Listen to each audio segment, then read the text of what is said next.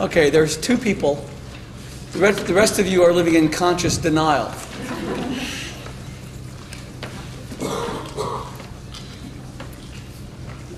And what are you doing, please? I practice the light. Okay. You're light.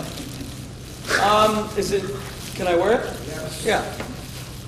Okay. Hon- hon- Honestly, Limmud booked my flight, so why I have this session as soon as I got, that's okay. I'm not complaining. You know that we Americans are very easygoing. What was that?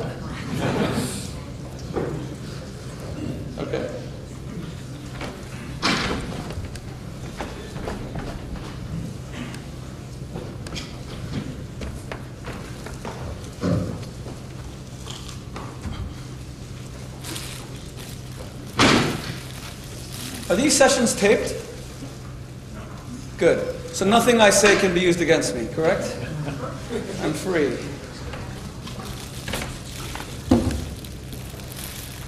It's not being taped, then let's get into it.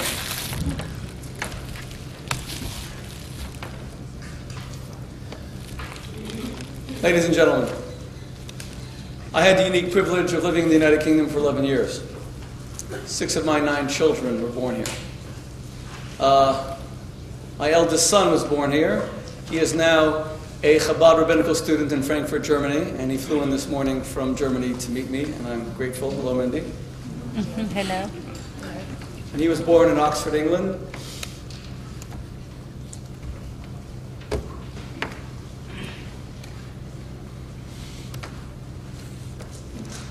And it really is a pleasure to be back. Thank you all for coming.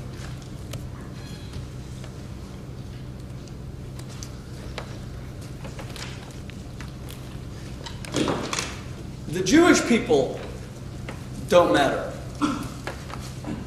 I know you probably believe that we do, but we don't. We do not have a seat at the table of intellectual ideas. To the extent that we carry any kind of political weight in the countries we live, it has nothing to do with our ideas, our values, our history. It has to do with one thing and one thing only. It's called money. That's right.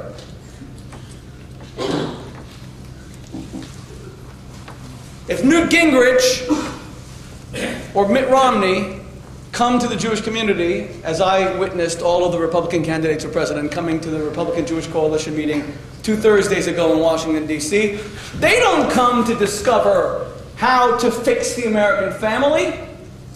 They're not coming to discover how America can experience a spiritual renaissance or a spiritual resurgence or weaning off America off of suffocating materialism. They're not coming even to discover how America might fix its economy. And the same thing, I would presume, is true of politicians in this country. When they come to the Jewish community, they're coming for one reason and one reason only.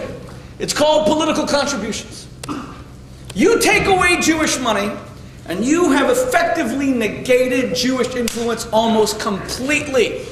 Because the people of the book have become the people of the buck. It's not true of the Dalai Lama. The Dalai Lama doesn't have two nickels to rub together. He walks around in a sheet. But they come to him for answers about how to live a more enriching life. They come to him for answers about how to find spiritual purpose. There are people in this world whose wisdom is valued. It's just that the Jews are not on that list. That is how much we have been marginalized in the marketplace of ideas. Part of it is self ghettoization. We Jews don't believe that we have much to offer the rest of the world. In fact, the last person who thought that Judaism was a universal creed which could actually convert people to its doctrines was a man named Paul of Tarsus, also known as Shaul. In one of my later lectures this week, I'll be speaking about a brand new book that I published called Kosher Jesus, which focuses on the decision that Paul made to take the truths of Judaism and offer them to the rest of the world. But he was probably the last Jew, if indeed he was a Jew at all, because that's under historical contention. He was the last person to believe that Judaism had a universal message for all peoples of the world, and he made Christianity, Judaism light, the most successful idea in the history of the world, to which 1.3 billion people currently adhere. But do you know what the ramifications were of that marketing effort? Everything that we Jews contributed to the world today goes by a different name.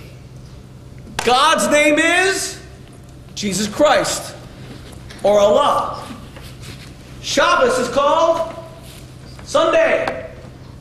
The Ten Commandments are called morality, ethics.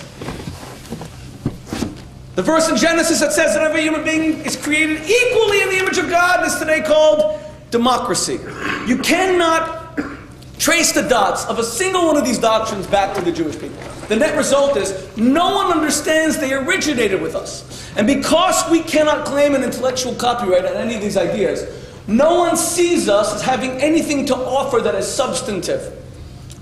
Now, that presented a really big problem for people like me who were campus rabbis. When I was at Oxford for 11 years, and I was trying to get young intellectual Jews who were Rhodes Scholars, Marshall Scholars, Truman Scholars, Fulbright Scholars to re embrace their heritage, and I wanted them to convince them that Judaism had something to say to the whole world. That they didn't have to abandon or jettison their Jewish identity in order to contribute to mainstream society. I was fighting an uphill battle. Because their argument was, what are you talking about? What contributions have the Jews made? We know what Aristotle did, we know what Plato did, the Greeks, the Romans, but the Jews, all we did was die. Our history is not glorious but tragic. It is my purpose in the five appearances that I have at Limmud to bring a message of the universality of Jewish values and how Judaism is uniquely equipped among all the religions of the world, all the spiritual systems, all the faith constructs to bring unique healing to the Western world in its gravest moment of crisis. Because make no mistake about it, the Western world is on the decline. It's not on the decline because the institutions of democracy are faltering. They're not. Nothing has replaced a belief in the superiority of the democratic system. No one's convinced by the Taliban or radical Islam that we should be adopting something different. Communism's on the decline. No one believes that we should have some sort of fascist system like in North Korea. It's not democracy which is on the decline. Less so is it capitalism that's on the decline. Yes, economies around the world, here in Britain, the United States, are faltering.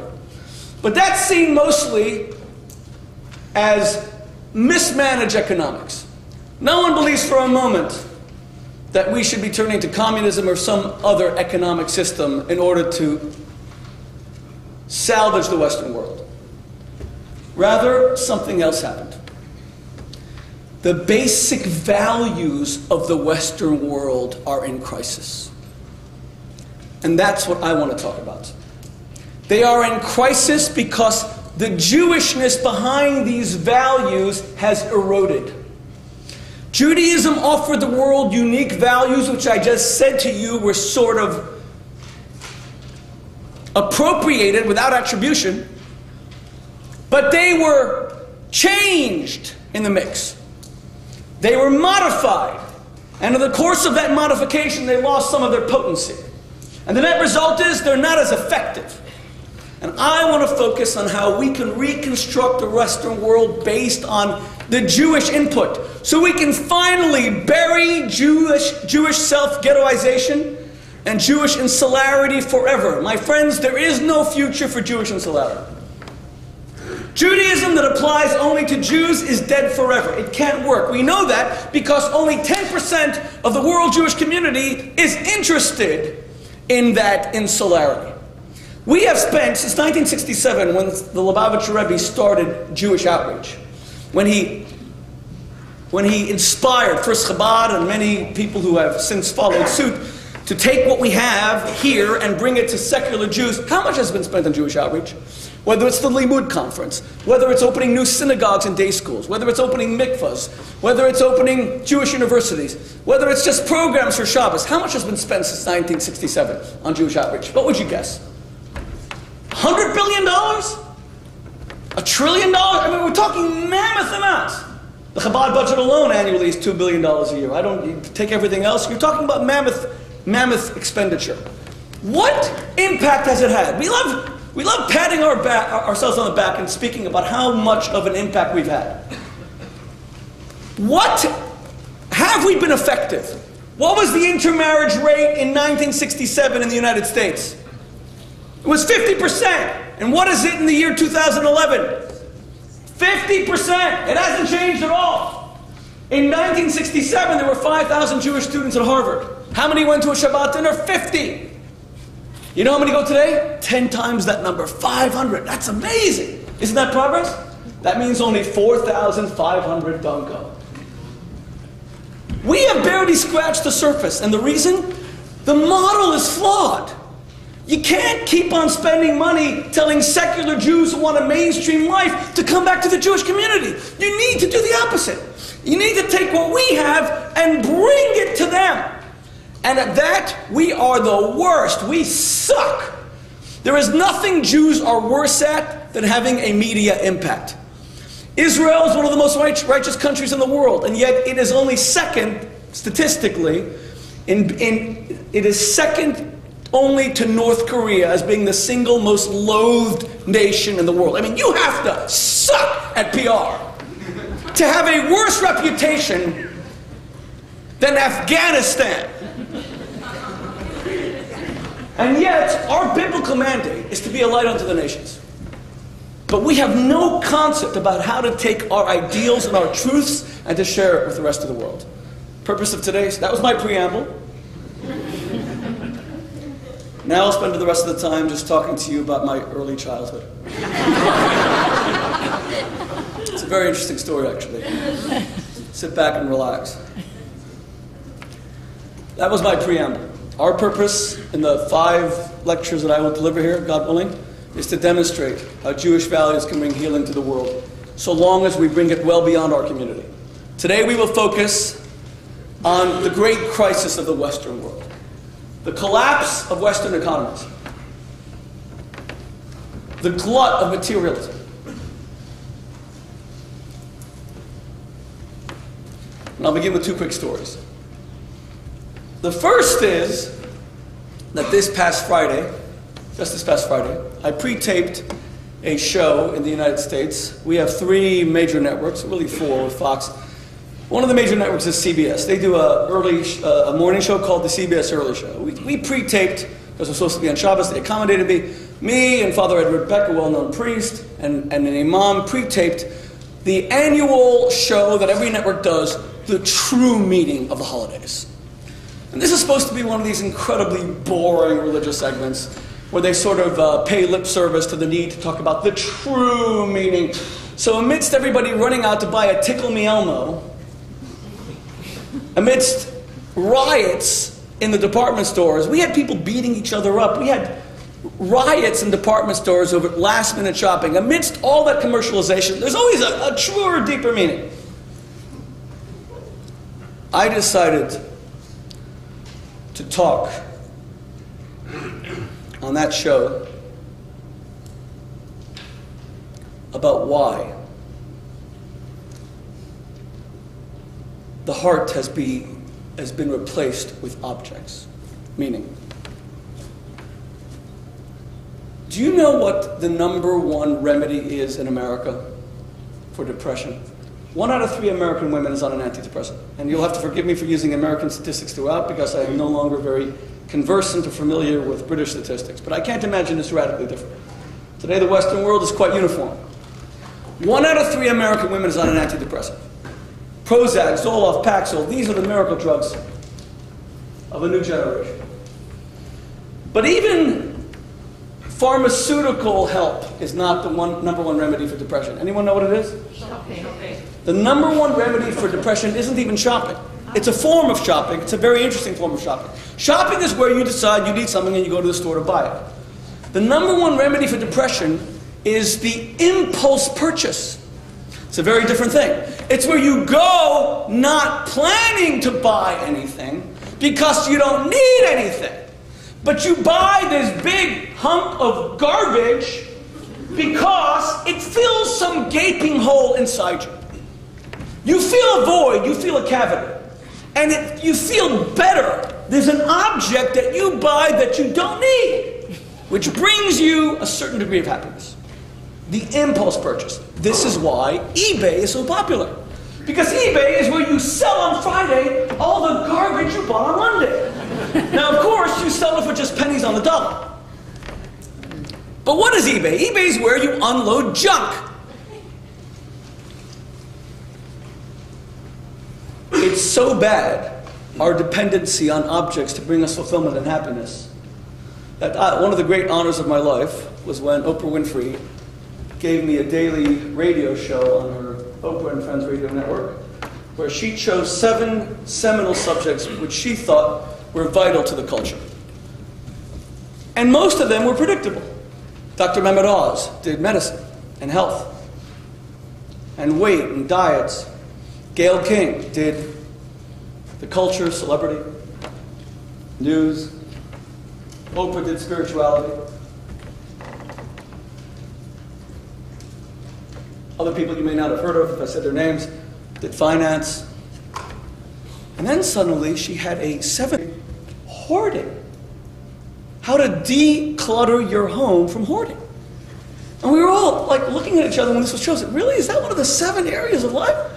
Like how to get rid of all the junk that's cluttering your life? But that was the most popular show of all.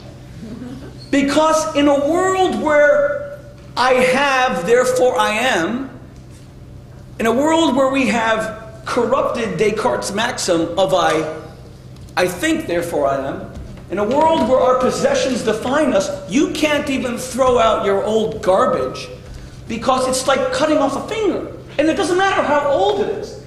Part of you is defined by this old coat that you never wear. And your, your, and your closets are bursting, and you actually need someone to come in and give you therapy to detach yourself from all these objects and possessions that give your that prop you up, that give your life a degree of meaning. Fascinating. Objects give us identity. This can be abused in many ways. The man who decides that the best way to go on a date with a woman is to buy the most expensive car. He accessorizes. It's not his actions which will win him over, win her over. It's rather the material possessions he comes with. And we all know this is kind of true. Because every time, in the same way that men have their superficial tendencies in relationships, like whenever a guy comes to me and says to me, Shmuley, you know, I'm 30, it's time, I've dated so many women. If I wake up next to another stranger, I'll, I'll, I'll lose all my self-respect. I really need intimacy, I need a soulmate. Introduce me to someone. And I'll say to him, I have the nicest woman for you. She is spiritual and intellectual, and she's service-oriented, highly educated, and he's asleep by the time I've said all that. And then he asks the one question that every guy ever always asks. He says, What does she look like? Of course. And when I tell them, Oh, well, her hunchback will give you great, really good piggyback rides.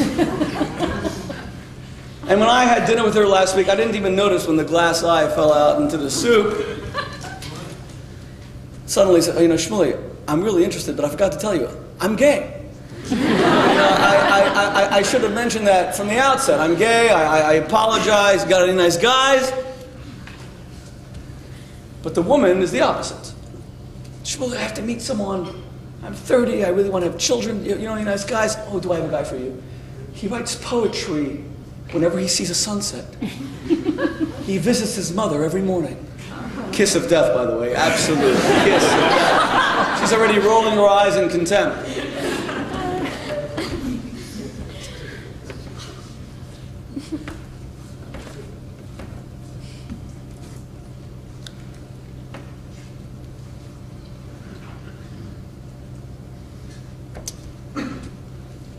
He reads books and he's spiritual, and he has thick glasses, and his name is Myron. and he works as a part time night watchman in a local junkyard. I'd love to go out with him, Shmuley, but I, you know, I forgot Tuesday. Tuesday's the only days I'm washing my hair that night, you know. And if it wasn't something urgent, I would definitely go out. Men learn to accessorize in order to impress women because in a culture where objects give us, lend us identity, the more valuable the objects, the more valuable the person. How did this happen? In other words, this is what I'm saying. My friends, Western society is eroding because we have made money into a currency by which we purchase self esteem. I want to repeat that. For us, money has become a currency by which we purchase self esteem. Now, here's the problem. If money is a means to an end, and it is the, it is the means by which we obtain the necessities of life, perhaps even luxuries of life, then enough one day is going to be enough because you have certain needs, and once they're catered to, or even slightly more than that, you begin to feel burdened when you have too much. But if you are filling a gaping inner hole which can never be closed because this is not about whether you have enough, but it's about putting it into a chasm, a black hole, then enough will never be enough. Because you are now using money competitively in order to establish your self esteem. And now you're competing against everyone else who also is using money as a currency by which to purchase self esteem. And it's competitive. It's no longer about how much you have, it's about how much you have in relation to somebody else. There was recently a study that showed men were given the choice if you could earn 20% more money next year, or your colleagues can lose 40% of their net worth, what would you prefer? What do you think 80% of men chose? They wanted their colleagues to lose 40% because there was a net gain of 20% in that case. This isn't about earning money anymore. It's about filling a gaping hole. Where did this hole come from? How did we become so spiritually bereft that we now need to shove all these objects into this void to lend our lives meaning? Here is where I focus on Jewish values, the universality of Jewish values. Not Judeo Christian values, hyphenated values, but uniquely Jewish values. Let's go back to the first story of the entire Bible.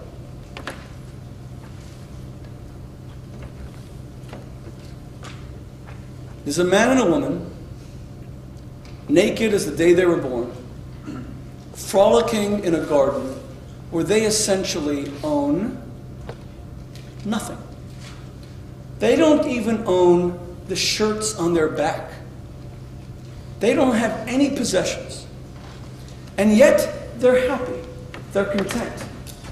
Because in each other they've discovered paradise. They essentially feel that they only have one need. When God creates Adam, he experiences a single emotion, and that emotion is loneliness. And God says, Lo tov adam levado. It is not good for man to be alone. So the only need that Adam has is the assuaging of his loneliness. He wants to be necessary to another human being. He wants to be vital and essential to somebody else.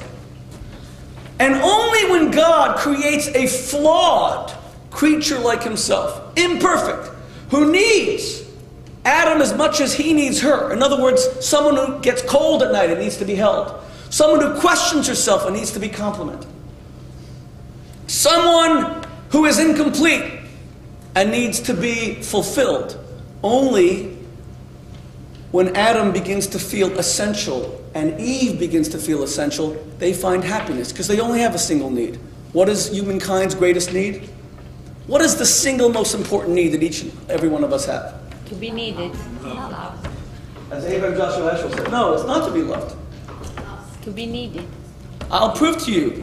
I'll prove to you very quickly that it's not to be loved. If our greatest need is to be loved, then no woman here would ever leave her parents in order to marry. Your parents are always going to love you. They, they're never going to divorce you. Your parents aren't going to cheat on you. When's the last time we heard a story of Mr. and Mrs. Jones going secretly at night to the little Mikey, the next door neighbor's kid? Mikey, you're the son we really love. You can't tell anyone. We're going to have a secret relationship. Here's a soccer ball for you to play with, but you can't show it to anyone. One day we will adopt you, discard our own son, and we'll be able to celebrate our love unimpeded. It's absurd. If you want to be loved, you never leave your parents because your parents will love you unconditionally. So, why does a woman leave her parents in order to marry? What's she looking for? You know, Sigmund Freud faced this question and he couldn't answer it. Freud answered almost every question about the human subconscious except one. In 1938, he famously wrote, I cannot answer the question of what it is that a woman wants. In fact, till today, Freud is hated by feminists because he saw women as, as castrated men. Women had penis envy. They wanted the strong masculine qualities. He never understood women. What is it that a woman wants? As a man who's deeply in touch with his feminine self, I can answer it.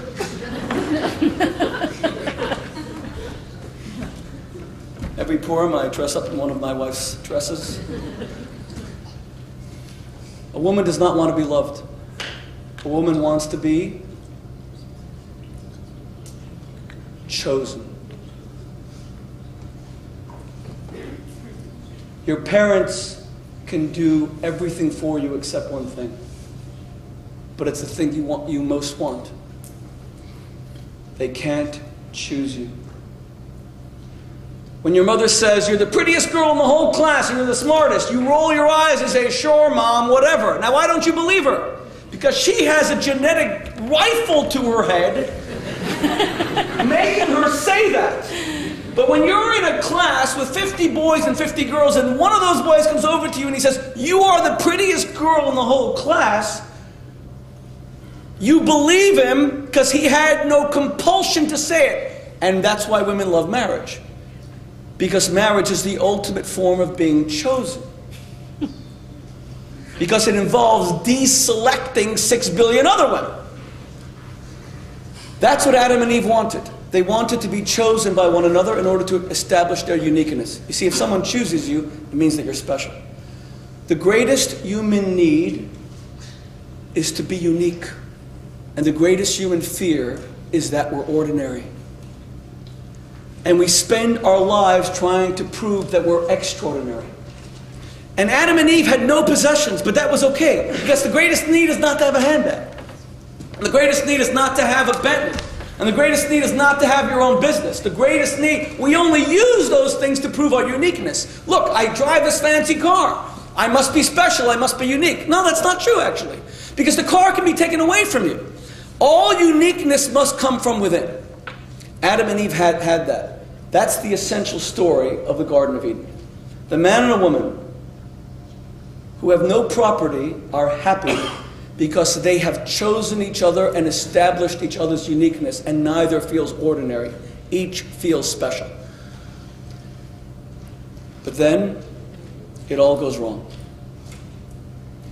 In the most tragic story ever recorded, the serpent comes along to Eve. Now you can just imagine the scene. One day, Eve is out frolicking. She's happy, she's smiling. And the serpent approaches her and he says to her, You look happy? She said, Yeah, I'm very happy. And he says to her, You, you look content. Yeah, content. And he says, Why are you happy? And she says, Because I have everything I need. And he says to her, Everything? She says, Yes, everything. And then he uses guile and trickery to bring about devastating consequences to humankind that last till this very day. What does he do? He says to her, You're happy because you have everything? And she says, Yes. How many times do I have to say this? And he points to one thing she doesn't have. the forbidden fruit. And he says, What does that taste like? And her response is, Oh, you know what? I don't know. So he responds, But I thought that you had everything. And now she thinks to herself, You know what? He's right. What does it taste like? She doesn't know. And she comes home, and for the first time, she's not smiling. And now Adam looks at her and says, Why so glum? And her response is, You know, what about those vacations that we can't afford? What about those department stores like Harrods that we can't shop in? We go to J.C. Penney in the United States. Why can't we afford Neiman Marcus? What the serpent has done is simply focus, refocus her attention away from what she has to what she lacks. She's no longer focused on what she possesses, she's focused on what is absent from her life. Now, here's what's interesting what does the serpent represent? He represents insatiability. The inability to ever be satisfied or happy with what you have. That's why he is cursed to eat dust for the rest of his life. Dust is plentiful, it's everywhere. You can find it wherever you seek it. There is only one property it doesn't have it's never filling. You can eat it and eat it, and you're still hungry. Does that not represent a generation suffering from childhood obesity? No matter what our kids eat, they're still hungry. A generation of people who are always struggling with weight gain because no matter what we eat, no matter what we devour, we're still not full because what we're eating and devouring is not filling. That's the tragedy of the story of Adam and Eve. The serpent represents insatiability. Once he digs his fangs into you and injects his poison, what does he do? Do you know what a snake bite feels like? You don't feel hot, you feel cold. He makes you shiver. He makes you cold to all of your blessings, to everything you have. Now it's the husband who has a wife who's taken his last name, had his kids, and her figure is somewhat distorted by having those children. But instead of him loving her more, on the contrary, he now finds flaws. He's now unhappy with what he has. And he develops a roving eye. It's now other women. You know, studies show that 84% of husbands think about other women while making love to their wives. The other 12%, the other 16% lie. 84% of husbands make, think about other women making love to them. Think about that for a second. Here you are in the closest physical proximity to a woman that bears your name. She is your wife, with whom you have kids. Closest physical proximity, you think about somebody else. Here you are, making love to your spouse, but in your mind, you're doing a guest appearance on America's Next Top Model. More so, studies show that 98% of women close their eyes during sex. That's an incredible thing. 98% of women close their eyes during sex. And when asked why, they say, because if they don't close their eyes, they can't completely enjoy the experience. In other words, only if I tune you out can I really enjoy this experience. So think about that for a second. Whenever you're in an elevator, notice that you look at the numbers nine, eight, seven, six. When you're driving a car, you're holding a Starbucks Hoka Mochaccino for which you sold a kidney just to afford it with your right hand. With your left hand, you're smacking the kid behind you, holding a cell phone. You're not even looking at the road, but the moment you're in an elevator, the only goes up and down, you need to look at the numbers nine, eight, seven, six. Now, why is that? What did you think? It was going to take a left turn? you know, I wanted to go to the 10th floor. I ended up in Kansas. I mean, this isn't like Dorothy from The Wizard of Oz. Why are you looking at the numbers? Because in the close physical proximity in an elevator with another person, the eyes are the windows to the soul. It's too intimate. You don't want a stranger peering so deeply into you. I understand when you're in an elevator. But even when you're making love to your spouse, you need to cl- tune them out, close your eyes in order to invite a world of fantasy. Even in the most intimate moments, we remain insatiable. And that's why we make other people constantly feel like they're not good enough to make us happy. In this recession, I am counseling so many men who are questioning their very masculinity because they can't pay their bills, they can't support their families. Husbands who lie to their wives after they're unemployed and go out with a briefcase day after day because they can't admit to their wives that they can't hold a job. Because when Eve comes back and says, and is no longer smiling, and Adam can no longer feel good about himself because no matter what he provides for her, she's still not happy.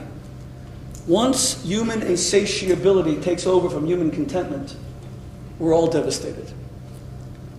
But here's a very interesting question. Most famous story of the whole Bible, Adam and Eve. Did any of you ever ask the question, why does the serpent approach Eve? Why her specifically? Isn't it men who are insatiable? Isn't it men who are greedy? Isn't it men who, no matter what they have, it's still not enough? The Donald Trumps of this world who have to put their name on every single building they ever buy?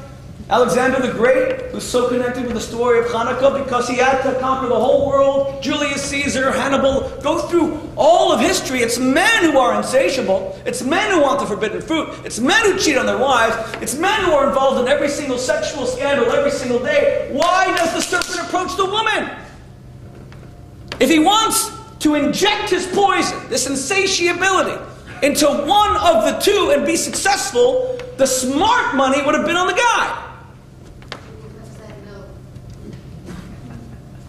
Already has it. Let me take it further. The serpent is cursed. According to our tradition, he used to walk vertically like a man. And then he's cursed, and God says, You will now slither on your belly, representing the quintessential fall of mankind. Once upon a time, everybody needs novelty in life in order to be more exciting. You can't do the same thing over and over again and still find passion and routine. You need to do new things. But once upon a time, people found novelty, newness, excitement vertically by being by having an erect posture. They reached higher spiritually. They reached deeper emotionally. And in that vertical posture, like how does a how do a husband and wife sustain romantic attraction for 40 years when you're making love to the same body, having conversations with the same personality? How the heck could it be as exciting? And most people will tell you it can't. I debate evolutionists all over the world. You probably know I've debated Richard Dawkins and Christopher Hitchens just passed away. I just wrote a eulogy to him. He and I had four debates. They will tell you that marriage is a, is a, is a, is a sham. Once upon a time, you've heard the arguments, people popped off at the age of 30. Bubonic plague, every single disease. So marriages only lasted 10, 15 years at most, and that, that was sustainable. But now that people live to 70 or 80, this is no longer sustainable.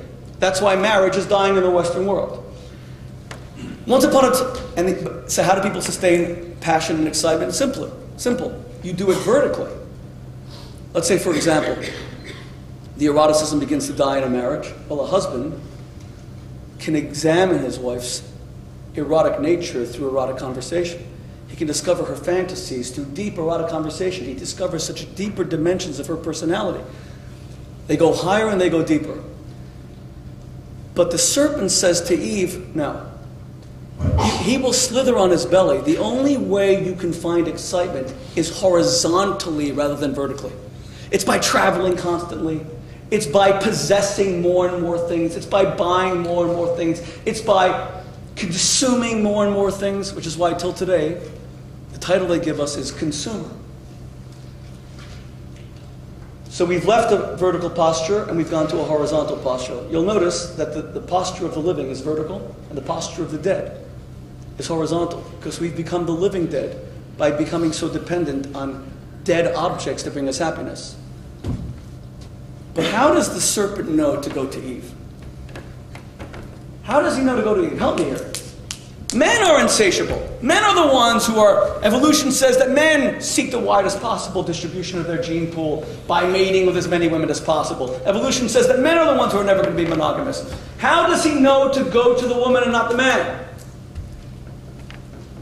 Was the, sorry, was the, was he told, was the command, command to Adam The commandment is given to Adam. and who repeats it to Eve. They both know the commandment. And now the serpent wants to entice them with this insatiability. He wants them to focus on what they don't have instead of what they do have. How does he know to go to Eve? Is it anything to do with the concept of trust?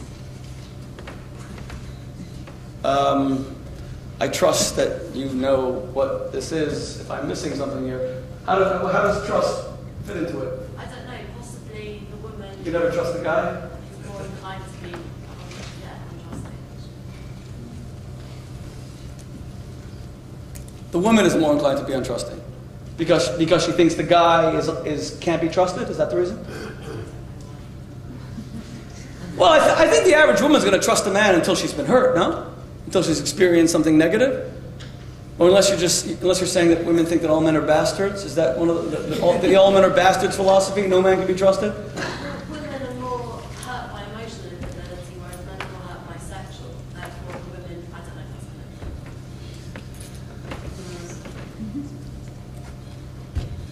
that's Okay, very interesting.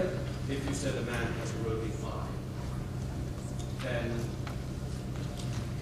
if you entrusted the ethical dimension to a woman, she would refuse that roving eye, and therefore the indiscretion would not happen. She would refuse a roving eye on ethical grounds. because women are more ethical than men.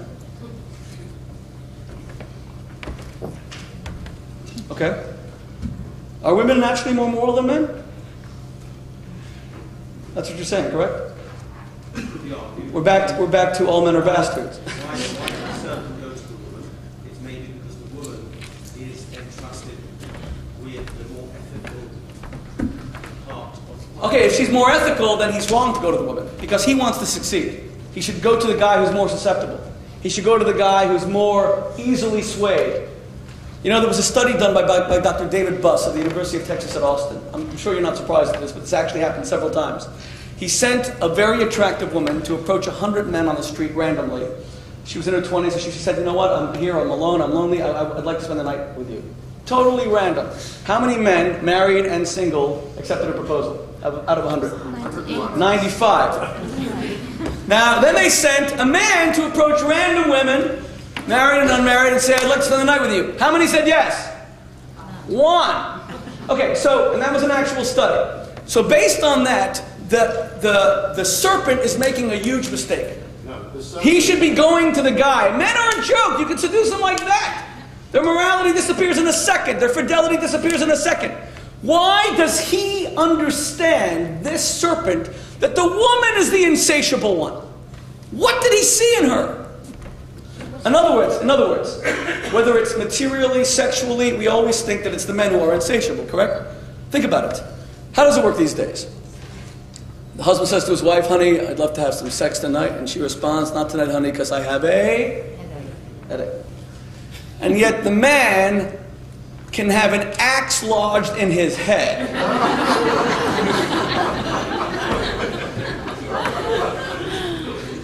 and he's still ready. Honey, you sure you want to do this? I don't know how to I don't know how to tell you this, but you've got a axe in your head. And his response? So what? You ready? Your girlfriend want to come over too? Why does he go to the woman? Do you want to imply women Yes. are more materialistic?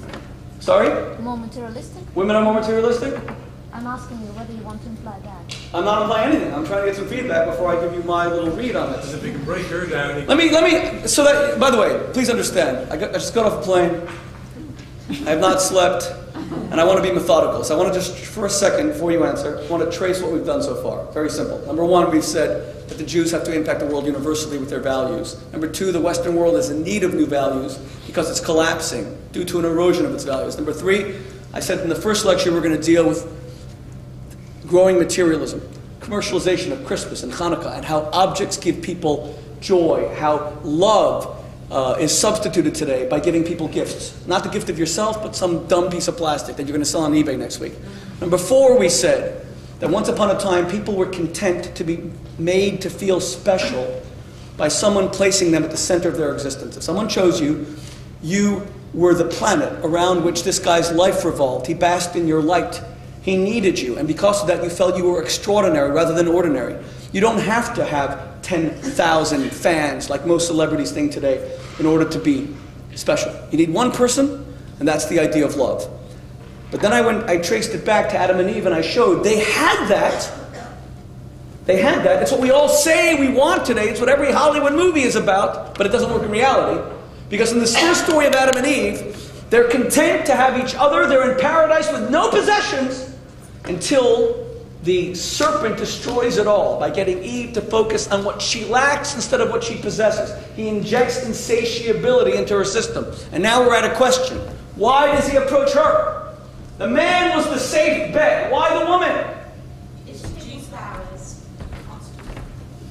Come on, guys, you got to think a little bit. It's the women today who are miserable, I said, right? One out of three women is on an antidepressant. 75% of all divorces initiated by women.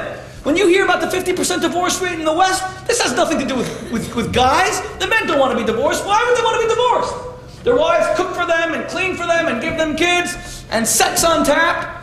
And every and during sex, studies show that for every eight sexual acts in marriage, the wife climaxes once, and he does almost every other time. It's a great deal for him. It's a terrible deal for her. It's and yet 75% of women are leaving these marriages because they're not happy. What does the serpent see in Eve to see that she's not happy?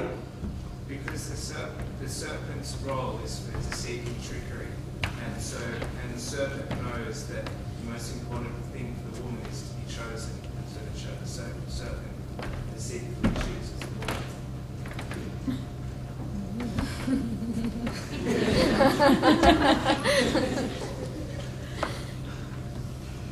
She wants multiple choice.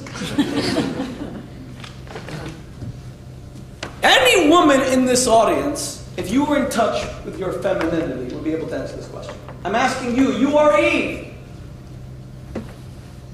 Stop pretending that women today are actually happy and satisfied. They're not. And why not? It's vanity. It's never good enough. What's never good enough? to be a woman?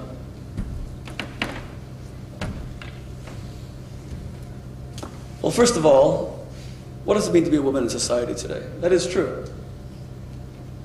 You are never enough.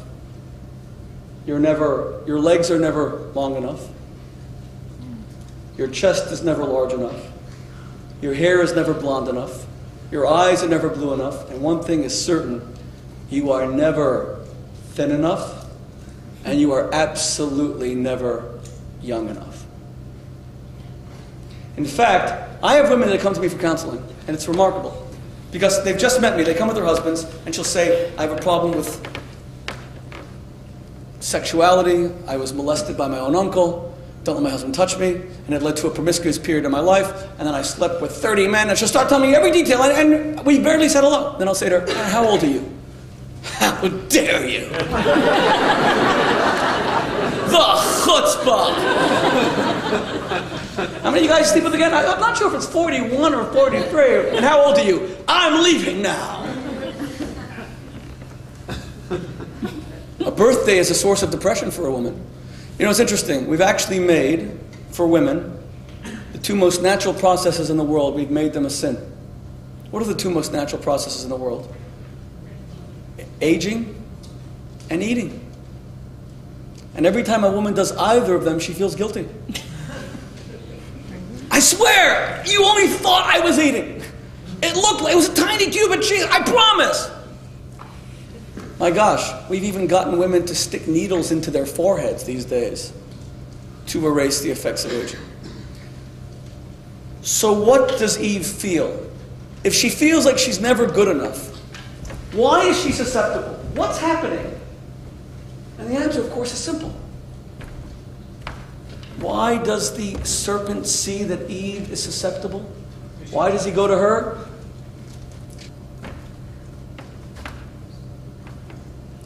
Maybe it's easier to break a woman. But why? Remember, I said before that we're going to search for values that have no hyphen? They're not Christian values, they're Judeo, they're not Judeo Christian values, they're Jewish values. Adam's got to do with housework. What?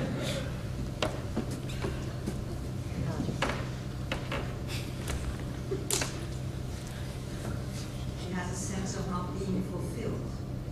Exactly. But why? That is absolutely right. He sees that she's not fulfilled. But why? That is absolutely right. He would not have walked over to her unless he saw an opening, correct? She would have just ignored him. She enters into conversation because something's bothering her. What is it? Why isn't she fulfilled? Children fulfill us? Really? How many women abandon their family, especially these days, for an affair with a guy when they know that they're going to sacrifice everything? What's the most written? What, what is the most written about subject in the history of world literature? What is it? It's the adulterous wife. Lady Chatterley, Madame Bovary, Anna Karenina, Tess. Name one happily married woman in world, in, in world literature. Whenever I ask that, you know people tell me? Lady Macbeth. world literature is about the dissatisfied wife. She is not fulfilled. Why? She's not Because she was rated second, so she's second, she's still second best. Does she? She wasn't chosen. Perhaps. It's a good answer. She wasn't chosen by Adam. She wasn't chosen by Adam. In other words, Is she? They have no choice. She's not Eve, I. He's the only other man, so there's no other man to choose. No other woman to choose. She wasn't the chosen one.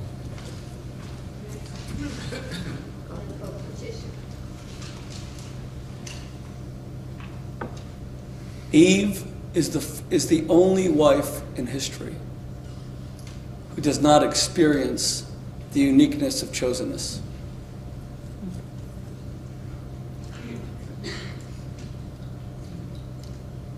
Adam does not choose her. He is, she is given to him. So she's not sure that she was chosen based on any kind of special attributes. And now she speaks to this serpent, and the serpent makes her feel that she's desirable.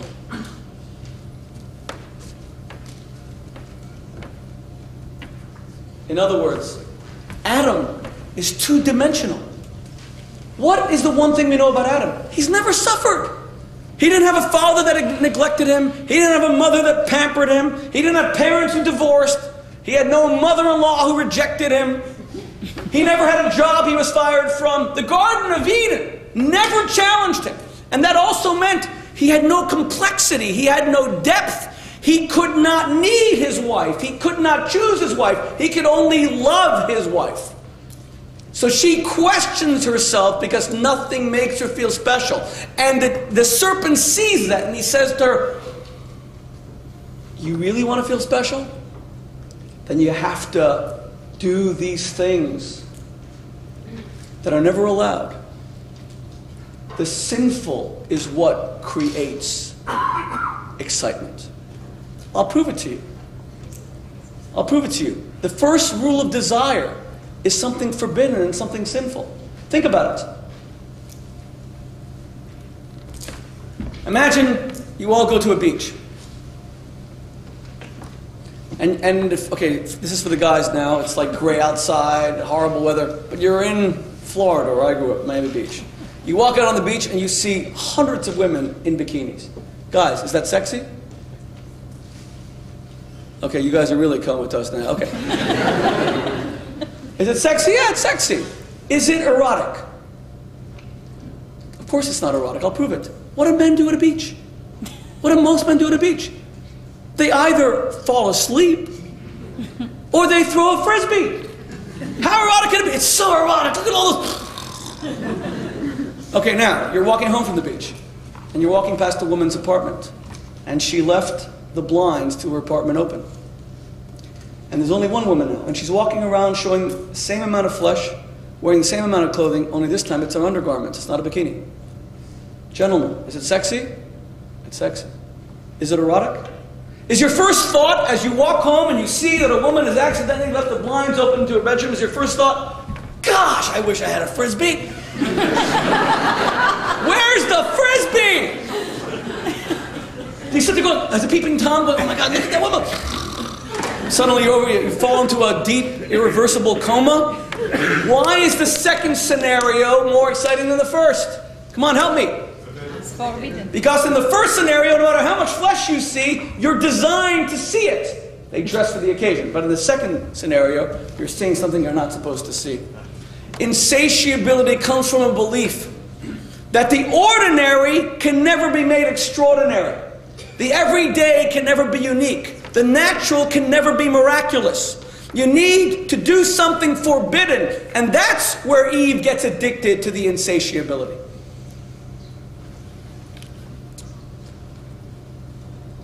You know why women today are so unhappy in their relationships and why they're becoming more and more materialistic? Because their core emotional needs are not being satisfied. You see, Kabbalah says something very interesting. In Jewish mysticism, there are two heavenly energies. There is what we call Soviv Kol Almin, that means God's infinite light, and it's described as a circle. And from that light, God creates the world. It's like the womb. It has no beginning, no end. That's the feminine light. That's what we call the Shekhinah. Then there's the part of God that is not the God of creation, He's the God of history. And that's described as like a linear line, a God that attunes His light, measures it perfectly to the world. And that's a line. Okay. There's this feminine side of God and the masculine side of God. Now, you'll notice, therefore, that a line and a circle are what comprise the basic stuff of all of creation. For example, the number 10 shows completion, a line and a circle. Computers work with units of digits opposites, lines and circles. Everything in the world divides into the masculine and feminine. Men are very goal oriented, they have a very linear approach to the world. Women love that. Women love a man with a plan. But a woman has a much more cyclical nature, and she looks for the deep enrichment that comes specifically through emotional fulfillment. But let's say it's lacking. How often do we see women who are on these bad, these bad marriages with a husband who makes a lot of money, neglects them, and there is a unspoken bargain where she gets neglected, but she gets to spend whatever she wants. Instead of a heart of flesh, she gets a credit card of plastic. Insatiability results from broken relationships. It comes from being emotionally unfulfilled. The absence of love leads to a plethora of cash. When someone makes you feel emotionally chosen, you never become materialistically insatiable the essence of the decline of the Western world and how we collapse this economy. The United States collapsed an economy in 2008 of $10 trillion a year because no matter what we had, it wasn't enough. Our cars were never new enough, our, our, our homes were never large enough. And we created this subprime mortgage meltdown because size became everything. We started thinking with our reptilian brain where size does matter. Two minutes. Yeah, let's finish it, please. Okay.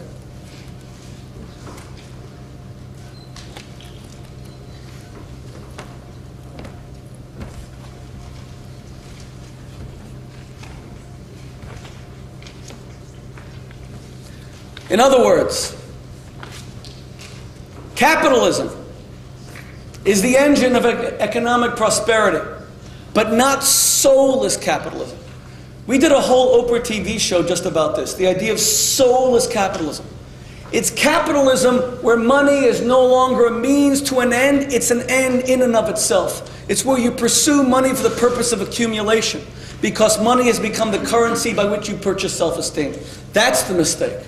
And it comes from a dearth, from an absence of love and strength of relationships. That's why the essence of Judaism is that you always use money in order to build a relationship. How do I sum this up as a Jewish value? It's simple. You'll notice something very interesting. There are only two components to the world there's time and space, as Einstein said. In Christianity, we use, we use time to acquire space. The essence of Christianity and Islam are the building of these giant empires. So in Christianity, you spend 100 years building a giant cathedral and all of, of the community's resources. In Islam, within 60 years of the death of the Prophet, the, the caliphate extended through Iraq all the way to the Iberian Peninsula. Time is used to acquire space. God is glorified through property. God is glorified through acquisition. That's why all of the Christian kings, you see it today here in England. The Queen is the defender of the faith, and her opulence is what's most on display. Because time acquires space. And if you're the Queen, you have palaces all over the place. And if you go to the Vatican, the same is true. I, I had the pleasure of having an audience with Pope Benedict XVI last May. And like, we got private tours of the Vatican, and the opulence is incredible because time acquires space.